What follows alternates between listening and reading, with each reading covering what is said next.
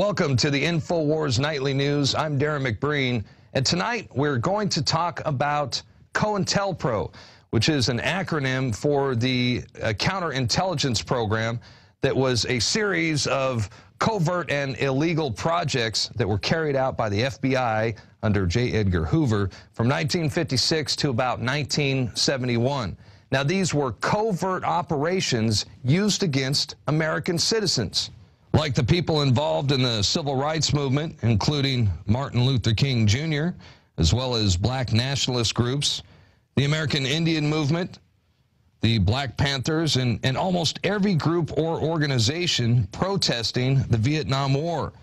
Their tactics were ruthless, to say the least. They included death threats, breaking into people's houses, smear campaigns, psychological warfare. They like to forge documents, plant false reports in the media. The use of violence was, of course, common, and so was intimidation, false imprisonment, you name it. And yes, these tactics also included assassinations. And perhaps we should title tonight's interview with our guest, That Was Then, This Is Now, COINTELPRO 2012, or COINTELPRO Continues because these types of operations, well, they've never really ended. They've just uh, assumed different names and they've expanded to include the multitude of U.S. intelligence agencies. If anything, COINTELPRO is probably worse now than it ever was. And uh, that brings us to our next guest who is here to help us break this all down. Uh, that is Larry Pinkney, and he is a uh, was a political prisoner and victim of COINTELPRO. Is a veteran of the Black Panther Party, former Minister of Interior of the Republic of Africa, and he authors the Keeping It Real column in the national publication, The Black Commentator. BlackCommentator.com is the website. Larry Pinkney, it's an honor to have you. Uh, thank you for joining us. Well, thank you, Darrin. Right back at you. It's an honor. Believe me, it is an honor to be on the program and I want to say thank you to all of the viewing and listening audience. Well, uh, for those in our audience who might not be familiar with who you are, uh, please tell us a little bit about yourself and what you know about COINTELPRO. Well, in the nutshell, uh, my background is that, as you mentioned, I'm a veteran of the Black Panther Party.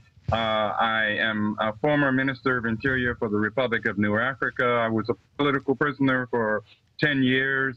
I'm the only quote unquote American to have ever successfully self authored my civil, political, human rights case to the United Nations. Not that it really mattered to uh, the countries, even though I won the case. Uh, and as you also mentioned, uh, I'm an editorial board member and columnist with uh, Black Commentator, that's blackcommentator.com, and associate editor with Intrepid Report, which is Intrepid Report com. But most importantly, I try to continue keeping it real, uh, to con- continue in this struggle because we're living in some very, very serious times, my brother. Well, I hear you, and, and you were a political prisoner uh, for 10 years after being set up and framed. And, but you're not the only one. I mean, there were literally uh, thousands of others who were victimized about, uh, by this. Am I right? You are absolutely correct. And and I'm so glad you mentioned that because the reality is is that there were thousands, more like tens of thousands. Some people are unknown to this day. As you mentioned in your introduction, you know, people were murdered. They were set up in every vicious kind of fashion. Uh, people's families were used against them, their friends, quote unquote, their associates, quote unquote, uh, uh, were used to destroy them based upon what? Their political beliefs, based upon their principles. And and you also mentioned, and I'm so glad you did, Darrin, that this is going on today. The counterintelligence program has in fact morphed into things such as the NDAA, the so-called National Defense Authorization Act, which has a provision, as you well know, that says that uh, American citizens as well as anyone else, but U.S. citizens can be indefinitely imprisoned without charge, without trial, without judge, without jury. Oh, yes. Yeah, yeah. Th- this Barack Obama, war criminal president, signed the NDAA on December 31st, 2011, when he knew everybody, or mostly everybody, would be sleeping. Nobody would pay attention to it. then, of course, we have what either sleeping or partying. But then we have, of course, the kill list. Obama's famous, infamous, I should say, kill list, which says that anyone, including U.S. citizens, can be murdered at the will, essentially, of whom? None other than this war, war criminal president, Barack Obama. So what has happened is COINTELPRO, instead of destroying it like they should have, they simply made it, quote, legal. And so it's, it's gotten worse. It's in, as you said earlier, the acronyms may have changed, but the reality, the horror of it continues. And, and this is something that we, all of us, all of us, sisters and brothers, must understand that the situation has intensified, but do not fear because the power of the people is here if we can just wake up and organize. But go ahead, my brother. I'm sorry. I ranted. no, I couldn't agree with you more. Uh, actually, I was wanting to get your uh, take as well on, on something that occurred earlier this week, and that was the fact that Mitt Romney's son was uh, reported to have purchased the electronic voting machines in Ohio. And uh, meanwhile, at the same time, we have Obama supporters who have been flooding Facebook and Twitter accounts saying that they're going to riot should Obama fail to secure a, a second term. And, you know, and I thought this, this had COINTELPRO written all over it as far as let's say that uh, Obama should lose the election. Uh, the powers to be could easily agent provocateur or set up some kind of false flag incident, fan the flames of, of rioting, if you would, and throughout any town USA or throughout the entire nation until ultimately we'd have uh, massive civil unrest and they would have the perfect excuse to declare martial law and then um, take one more giant leap forward toward the total police state, which has been their objective for, for many, many years. What are the chances of uh, people rioting, you think, if Obama were to lose the election? Well, first of all, I'm sad to say that I, I doubt that Obama will lose the election. I think they, they want to reinstall him because he's what I call perfect ghetto uprising insurance, if you get my drift. Ghetto mm-hmm. uprising insurance. And he's a perfect Trojan horse for this avaricious Wall Street corporate elite. Now, but let's let me direct my answer to your question. If in fact uh, uh, Obama were to lose this election, which I call a C-election because we're not really, no one's being elected. It's twiddly dee and twiddly dumb.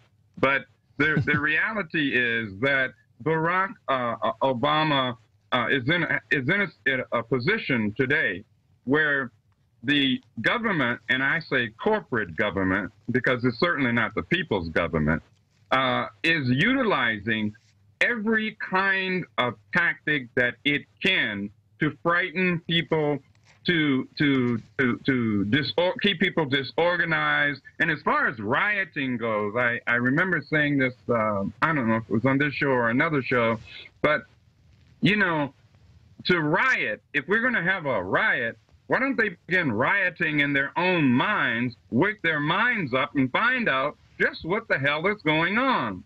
Uh, you hit the nail right on the head, Darrin, when you said this has COINTELPRO written all over it. It does. It, it, it's, this is perfect agent provocateur kind of tactics. Sure. Agent provocateur. So we have to be uh, aware of this.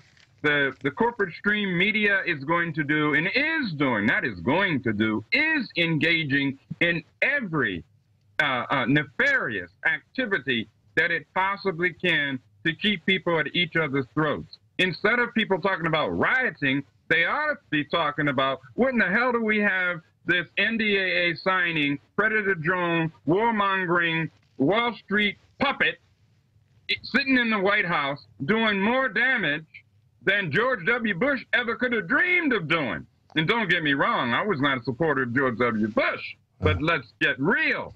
Okay? This man in less than four years has destroyed in, in, in the essence of, of what uh, people who love justice and freedom, he's destroyed the essence, or tried to destroy, I should say, because he hasn't destroyed it, the essence of, of the people's struggle. And I'm talking about black, white, brown, red, and yellow people across the board. None of this division, none of this divisive nonsense. We got to come together. So, no, as far as the, uh, getting back to the whole riot thing, that is what the CIA calls uh, uh, a balloon. They put a balloon up there, floating a balloon. You know what I mean? And then they see what kind of reaction can we get? Can we get a bunch of fools to do this? Oh wow, yeah, look at them, fools. you know, idiots. But anyway, I'll stop right there.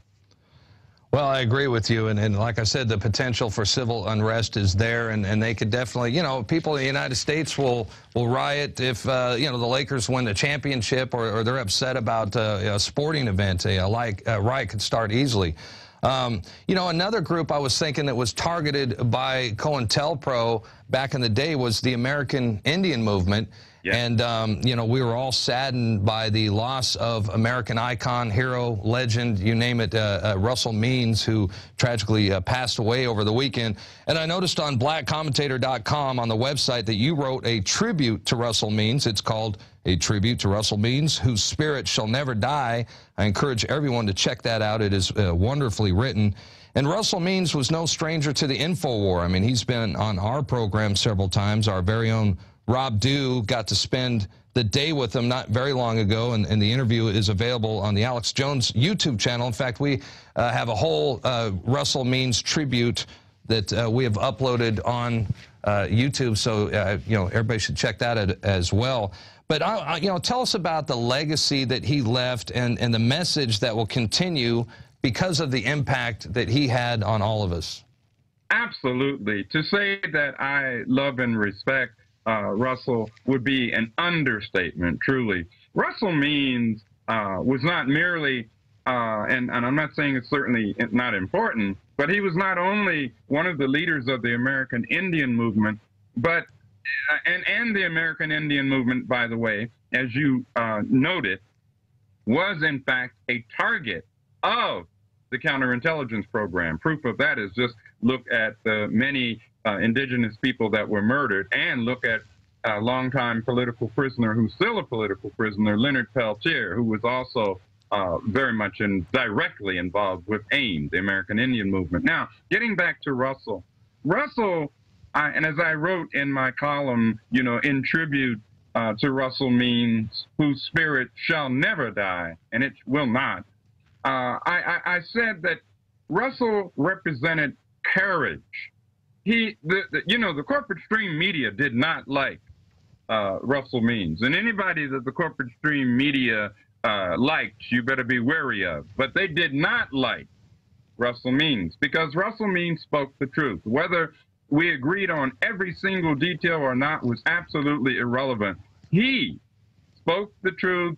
He, he, he, he continued to talk about how this government is hypocritical, not just to indigenous native peoples, but to everybody black, white, brown, red, and yellow people, everybody, its policies are hypocritical and dangerous to everyday people.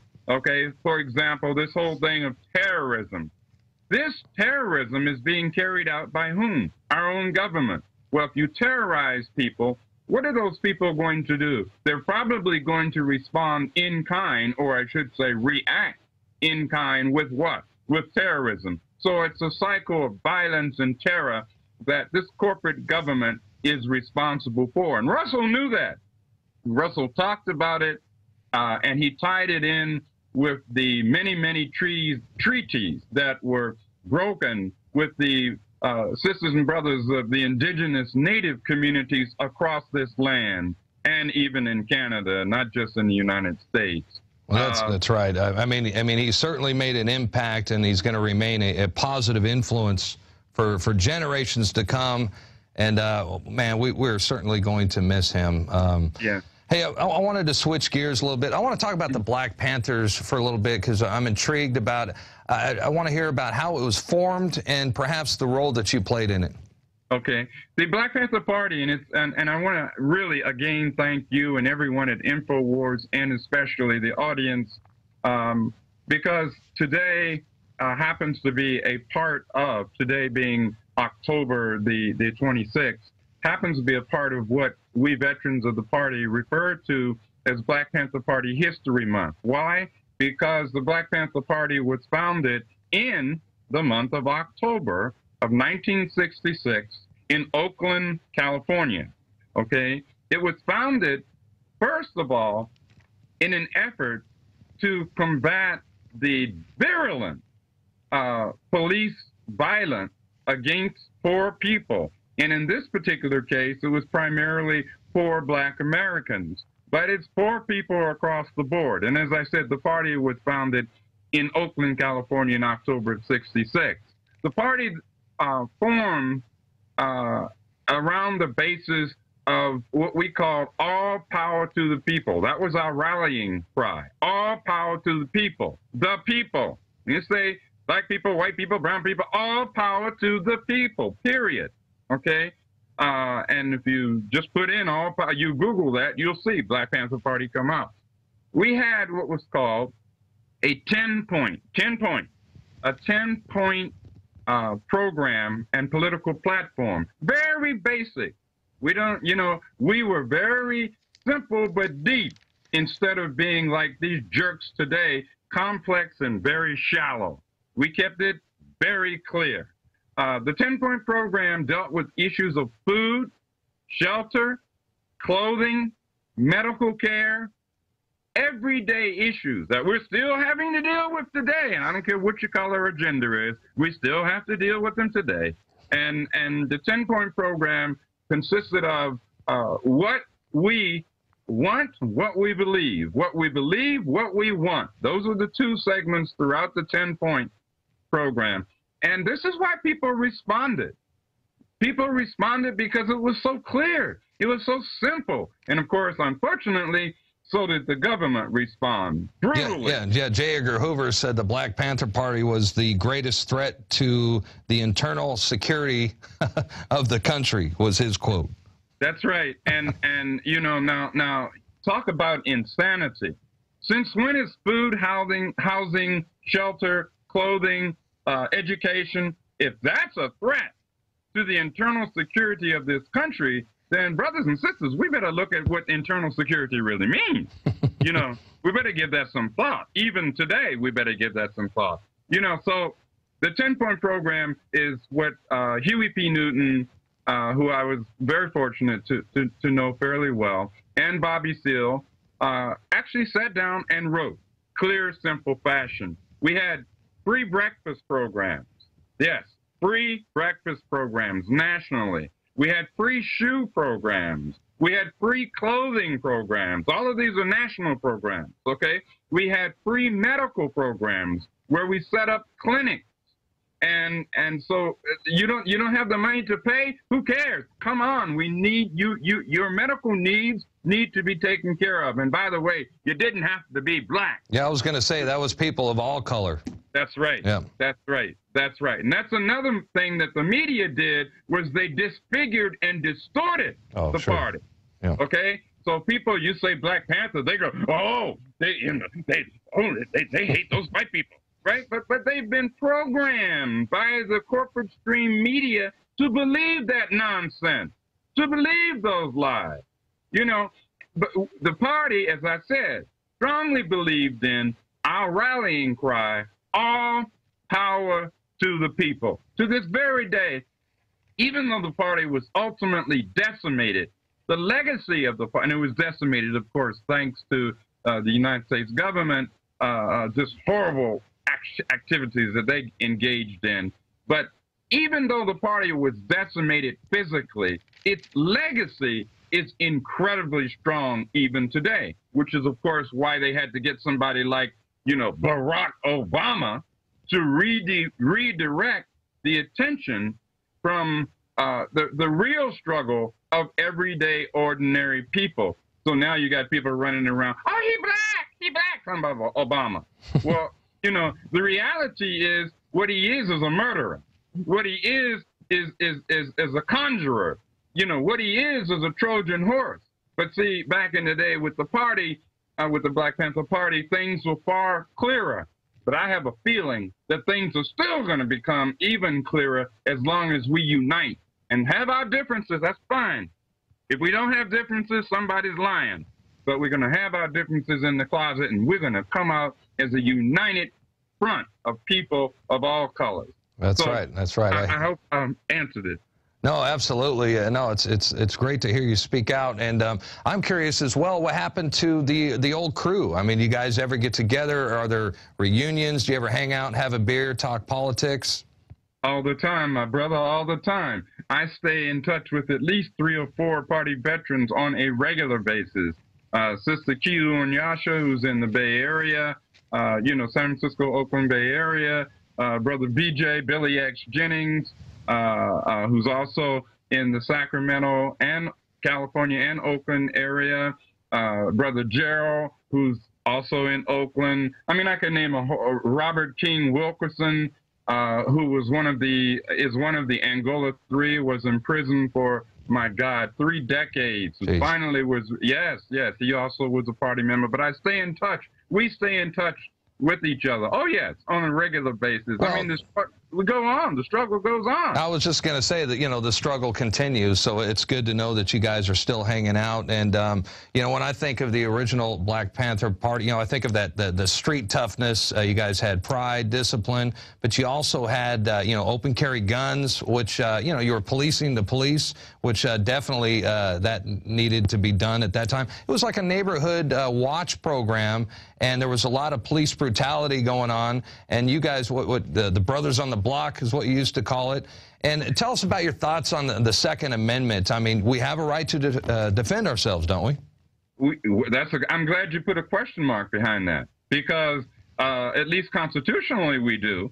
But if we pay close attention to the way uh, things are coming down, uh, and I don't care whether it's Democrat or Republican, uh, if we pay close attention to what's happening, our constitutional rights have been eroded. Suddenly, uh, uh, anyone who talks about self-defense is viewed as a quote unquote militant when they should be viewed as a thinking person saying, wait a minute, who runs this country? The people or the government? Well, then they turn around and, of course, say, well, the people, the government is the people. We all know that's nonsense. The government is, is General Electric. The government, the government is Goldman Sachs. The government is Lockheed. That's not the people. But in any event, my point is that that we are the ones who have to make the Constitution and our common sense, not just the U.S. Constitution, but just our common sense. Let's use our common sense. Let's make it real. I write a column in the Black Commentator uh, called Keeping, Keeping It, it, Real, real. Yep. right? So let's keep it real. The reality, and I'm going to mention very quickly as far as the party was concerned back in the 60s and early 70s, at the time that the party was openly, and I repeat, openly carrying guns, it was quite legal in the state of California where we're doing that. All right. And uh, uh, so what did they do? They turned around, and by they I mean the government. You know, like guess what? I, you can probably already tell me what they did. They passed what's called the Mulford M U L F O R D, the Mulford Act. That's right. And and and so they quashed that right. Y'all not no no no. We how dare you be able to do that. You know, but by that time, even though they did that, the the the we had instilled in the communities, and I say across the nation, uh, with black, brown, red, white, and yellow people, the the the will to resist, the will to stand up, the will to say no, I'm not going to accept this. So if that's what J. Edgar Hoover meant when he said we were the greatest threat to internal security. If that's what he meant, he might have had a point. Well, I think what's uh, frustrating with me uh, and, uh, and, a lot of people that work here at InfoWars, I'm sure with yourself as well, we all have uh, friends, family members, uh, neighbors uh, who, you know, they're stuck in that left-right paradigm, if you will, and which, as far as I'm concerned, the two-party system. It's a two-party dictatorship, you know. Right. And and how do we get people to break that matrix and get them to wake it up? What's that's the best way that you've learned to get them to uh, wake up from this uh, trance-like state and wake up to the realization that the world is not what they think it is? Well, I like to make people mad because sometimes that's a, you know what, brother. Sometimes that's the only way you can make them think. I don't mind if they get mad at me. But if they get mad at me, what that really think, what that tells me is somehow something that I said must have actually gotten into that little brain, and they were thinking about it, and they didn't like it. All right.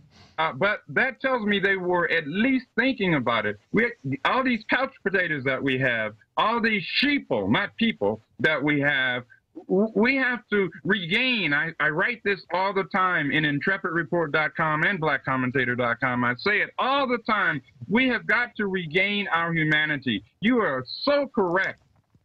You know, Darrin, you are so correct. The, the this, this false, fake, fraudulent left-right paradigm is nothing but a trap.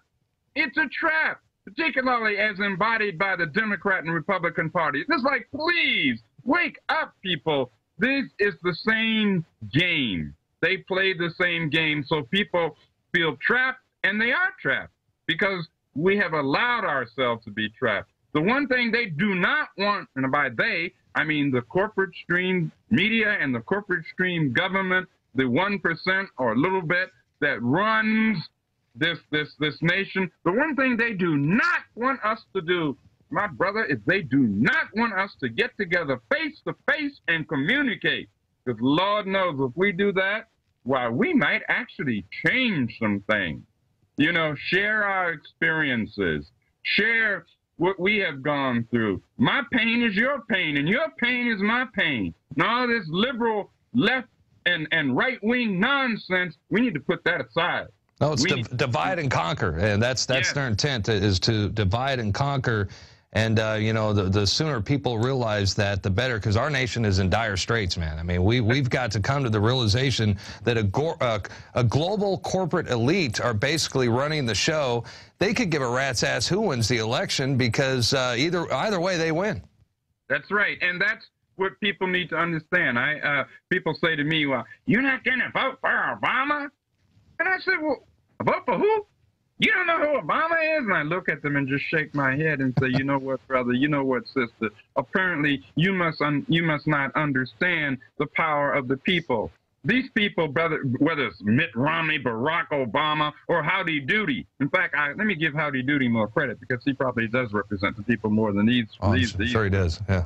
You know, but but you you know, we used to say back in the day, what if they gave a war and nobody came? What if they gave a selection? And I call it a selection because it's not an election. What if they gave a so-called election and nobody came? You know, uh, who was it? Albert Camus, the French philosopher, said, "What better way to enslave a man than to give him the vote and tell him he's free?" Well, you don't control who gets there. You don't control, when I say there, who the candidates are actually going to be. Why, you don't even see third parties allow, third parties, plural, allowed in the national debate. I mean, what's, what's that about? And by the way, what about the electoral college system that is like a safety net for this corrupt system? What about that? Excuse me, whatever happened to one person, one vote? Whatever happened to that? So we need to be honest with ourselves. It's not overwhelming. It's actually quite simple. If we band together, if we collectively come together and, and do something about it as a people, and guess what, brothers and sisters? They are going to do everything they can, including agent provocateurs, people to try to set us up, to try to frame us, people to try to kill us. Hey, that's what a government does that fears the people. That it's time for the people to stop fearing the government. It is time for the people to start taking serious action to come together with each other to for our common interest. We have far more in common, black, white, brown, red, and yellow, than we ha- than we have in terms of dissimilarities. Our common interest is what this struggle is all about. Well, I'm into that, and. Um, you know, you're a terrific speaker. Do you have, do you go to any speaking engagements? Uh, you know, we're almost out of time, so I also wanted to ask you if you have anything uh, coming up on your website, speaking engagements. What's next for Larry Pinkney? Larry, Larry takes it as it comes. The, the, the most recent actual speaking engagement that I had, excuse me, was uh, at Syracuse University, which was a few months ago last year, uh, College of Law and and uh, we shall see. I certainly will be looking forward to be speaking more with my sisters and brothers of all colors. You dig, and as as we say in the party, you dig, you understand, because this struggle is all of us together. So go to Black Activist Writers Guild. That's blackactivistwg.org. Check us out. Check out the articles. You'll you'll see various pages and you'll see what I'm up to. But you know what? What I'm up to is what all of us have got to be up to. I'm not in this struggle by myself. I'm in it with you, Darrin. I'm in it with our listeners at InfoWars. I'm in it with everybody across the board. Well, that's right. And we are all in this fight together. And, and Larry, I can't thank you enough for hanging out with us tonight. I admire your courage. Thank you for uh, having the courage to stand up to COINTELPRO and, and warning others that, that it's still happening today. And know, we all need to recognize that as well. So uh, I, I sure hope you are willing to come back and join us again sometime in the near future. Of course, and I thank you. And let me simply say thank you to all my sisters and brothers, all my brothers and sisters out there. All power to the people. All power to the people. All right, Larry, thank you. All right, folks, there he goes. That was Larry Pinkney. And, and you know, he's quickly becoming a uh, favorite guest on our show. Our viewers respond well to him. And, uh, you know, he's a fascinating character. Uh, you know, he's the real deal. Um, you know, it's it's always fascinating to, to, talk to him because not only did he take part in one of the most interesting times in history, you know, with the Black Panthers back in the 60s and 70s, but he's a prominent activist today, and who knows, perhaps the uh, you know modern times will prove to be the most interesting time of all, uh, was, if not especially uh, dangerous for political activists. Hey, that's going to do it for tonight's broadcast. I'm Darrin McBreen. The InfoWars Nightly News will continue, Lord willing, next Monday through Friday, 7 o'clock p.m. Central Time. Until then, I hope all you guys out there have a blessed weekend, and we'll see you back right here on Monday. Good night.